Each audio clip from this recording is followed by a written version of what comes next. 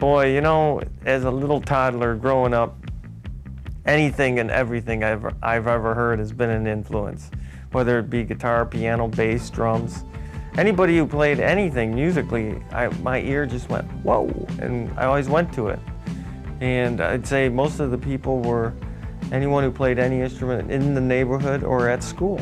It was just, it caught my ear, and from then on, everything that's musical has caught my ear. I consider myself a kind of guitar player.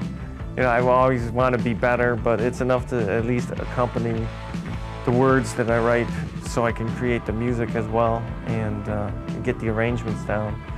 I always want to be better on every instrument. I play a little piano and a couple other things, but it's like, is there enough time in the day to keep playing and practicing because it takes a lot of work. I've been in Michigan my whole life. I've never left the state as far as living. I've lived here, born and raised in Dearborn, um, actually west side of Detroit, but I was born in Dearborn. I actually live now in Dearborn, and I've always been in Michigan. And, you know, Michigan is one of the few places where you can go, this is where I live.